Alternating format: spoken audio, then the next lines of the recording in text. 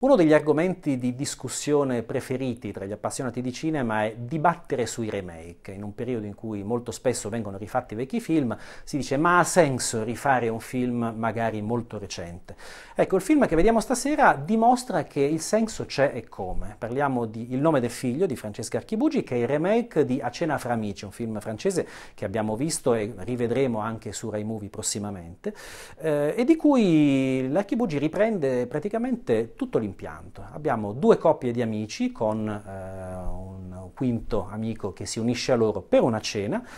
durante la quale uno di loro, un po' così, eh,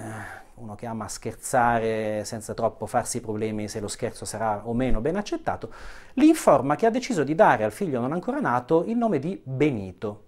che è un nome che si può ben capire, soprattutto in una famiglia di sinistra, insomma, porta degli echi abbastanza scomodi e questo scatena una serie di discussioni, di recriminazioni, eh, rive- fa rivelare dei segreti che fino a questo momento sono rimasti nascosti, che mette a dura prova il rapporto tra questi cinque personaggi.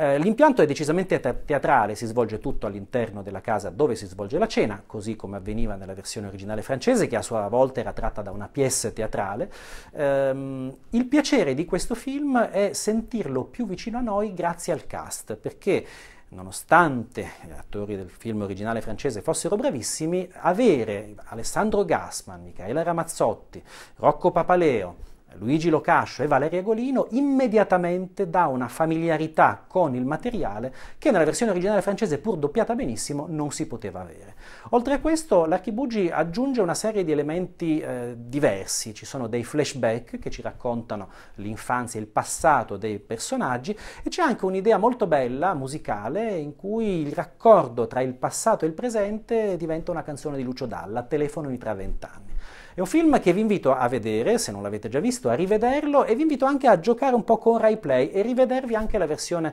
francese Cena tra amici, perché è divertente capire come due registi diversi abbiano eh, lavorato sullo stesso materiale creando due film, tutti e due divertenti, tutti e due capaci di far pensare e tutti e due emozionanti in modo diverso.